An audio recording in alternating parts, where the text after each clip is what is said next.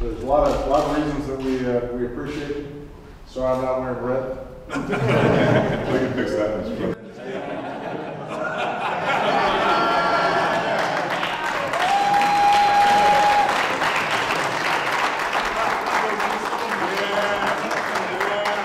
The national championship team, we wanted to make you part of that team. I appreciate that so much. Yeah, and, uh, also want to- You got, you got, you got a video as well? Yes, sir. Fantastic. Is this the thirty? uh, It was a, it was a pass. All right. It was a shot. I, I remember y'all sitting around there talking.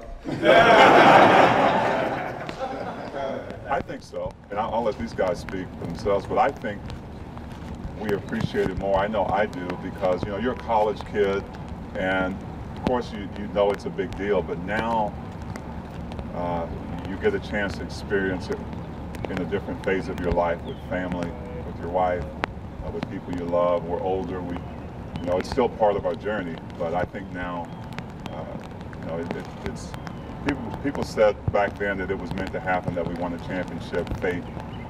I also think that it was, it was not necessarily a bad thing that we didn't get to go visit back then, because now I think it's that, that much more enjoyable.